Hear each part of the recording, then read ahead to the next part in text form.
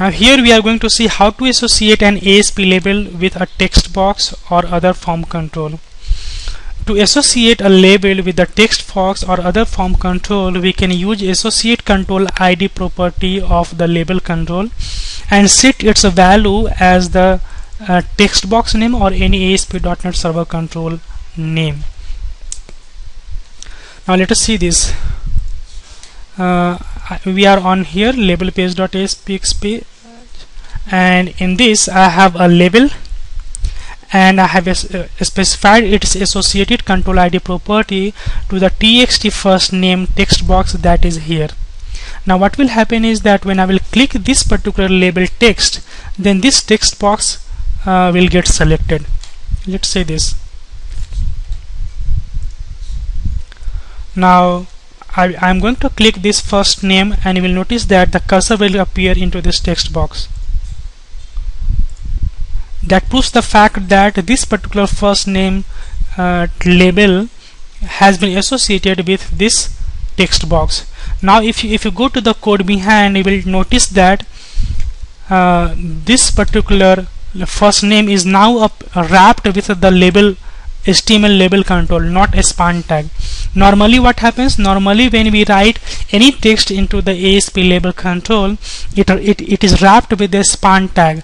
But as soon as you will specify associated control ID then a span tag will not be there but uh, that particular text of the ASP label control will be wrapped with the label control and that label will be associated with the text box that you had specified into the associated control ID the next how to we are going to see is how to write HTML content from the server side to ASP.NET page. In order to write HTML content from the server side to ASP.NET page, we can use the literal control. Okay, let's see this with example. Here is my literal page and in this page I have a literal control and this literal control I have a specified text is equal to this is written from the ASPX page and this is uh, this string is wrapped with the bold tag.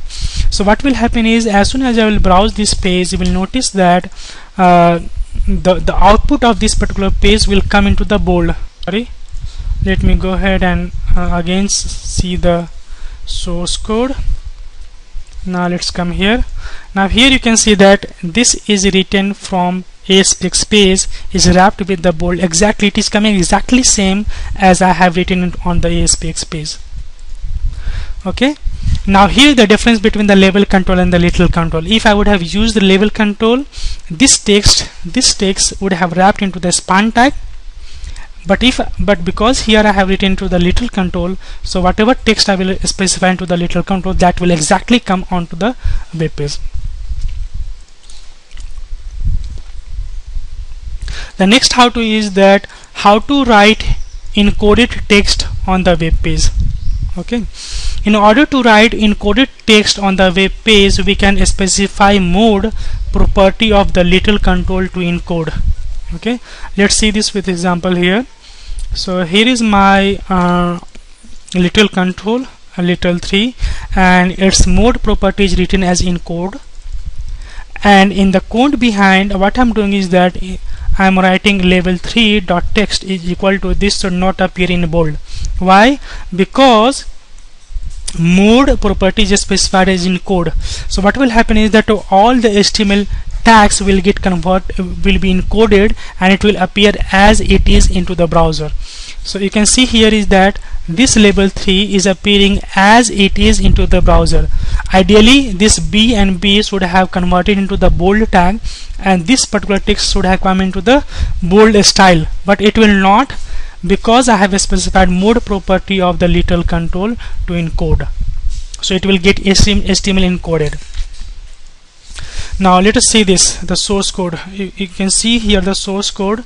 This should not come into the bold and the less than and greater than symbol is encoding is getting encoded. And that's why it is appearing as it is on the browser here. Okay. And the next uh, how to is related with a text box text box control is basically used to display a text box on the web page and that is used to take the input from the user. Okay? Now how to programmatically set the text box value and get the text box value? In order to programmatically set the text box value and get the text box value we can access the text property so if we have to set the value then we will write uh, text box id in my case it is txt first name dot text is equal to and whatever uh, string or whatever text I want to specify I can uh, write it here. In order to retrieve the text box value we can use uh, any string variable and then txt first name dot text.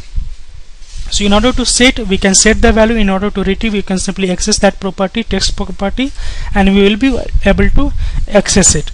Let's see here now in this case I have a ASP uh, text box and its ID is txt first name runat equal to server. This will simply bring uh, a text box. And in the code behind of this page what I'm doing is that in the page load event I'm writing txt first name dot text. So what it will do is that this will write the, this particular string into the text box. And in the next this particular line of code will retrieve the value of the text box and it will store th that value into the first name string variable. Let us uh, browse this page and you will see that in this text box it is coming set code uh, set from code behind. See here set from code behind is written and that is exactly appearing into the text box.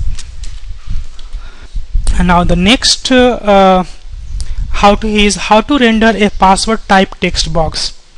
In order to write or in order to render a password type text box we can specify text mode is equal to password. And that what it will do is that it will bring the text box into the password mode so that whatever you will type that will that, that particular character will not appear but only dot will appear. So let's see this. In this page I have a text box whose uh, text mode is password. Here you can see that password and text box txt password run equal to server and text mode equal to password. Now when I will run this page and I will uh, if I, I want to write anything into this password box it will not appear here. Okay? But the dot will appear only. So this is the way to render a password text box on the browser by specifying the text mode property to password. Now then in this how to we are going to see how to specify the autocomplete type of the text box and what is the use of it. Okay. Autocomplete type is a kind of IntelliSense to the text box that appears when a user try to type characters into the text box.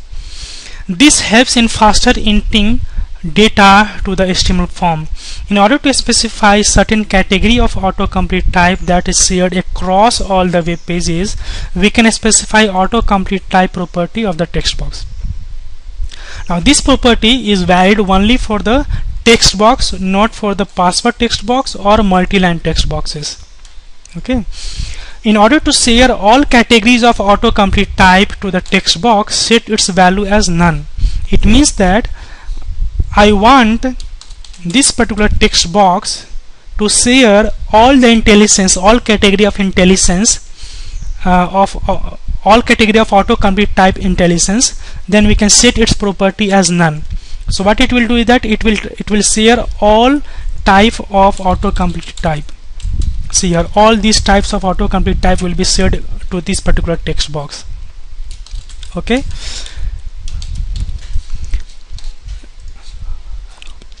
if we want to disable the autocomplete feature of the text box we can set its property as disabled. And if we want a certain auto type of autocomplete to display for a particular text box we can select uh, from the enumeration value that appears in the Visual Studio. For example company department. You can see here is that in this image these enumer enumerations of autocomplete type is appearing. If I want my autocomplete type of this particular text box to company then I can select company here and all the company related autocomplete type for this text box will appear uh, as an IntelliSense now let us see this with example here. First what I'm going to do is that I am going to specify its auto-complete type to first name okay? That's is basically the value from the IntelliSense now when I will refresh this page and when I will try to enter my date um, uh, some character here you can see that I'm getting the IntelliSense. It's a kind of autocomplete in, in a lazy word we can say now IntelliSense. Now if I don't want this particular IntelliSense or autocomplete type autocomplete then we can specify this to uh, sorry disabled. And now when I will refresh this page and try to write anything here you can see that I'm not getting any IntelliSense now if I want to share IntelliSense or autocomplete type of all categories then I can specify none here. And you will notice that all different different kinds of whatever I had written here whatever I'm trying to write it here with autocomplete type of different uh, categories are appearing uh, as IntelliSense of this particular text box